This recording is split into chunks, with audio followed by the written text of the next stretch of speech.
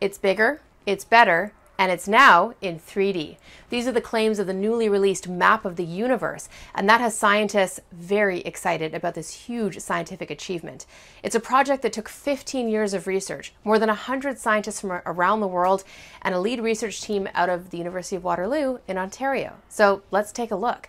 Each one of these dots represents a galaxy, just like our own Milky Way.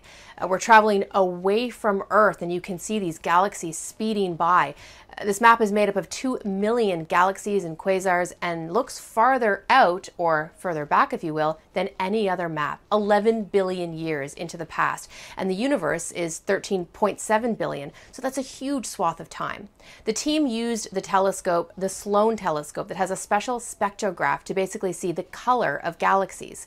Plotting a 2D map of the universe is a little more straightforward. You look up in the sky, you measure the angles, and you get a flat map. But to get a 3D map, the team used something called the redshift to figure out the distance between objects.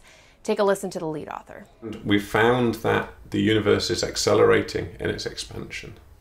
That means that it is getting larger and larger at a more and more rapid rate. And this goes against modern physics. With this kind of map, we're really testing physics at levels you could never test in a lab on the Earth. And we're seeing strange things happen. There's new physics out there, and that's what's exciting. So, what the team ended up with was basically a standard ruler. And from this, a whole bunch of other experiments about the universe can be tested.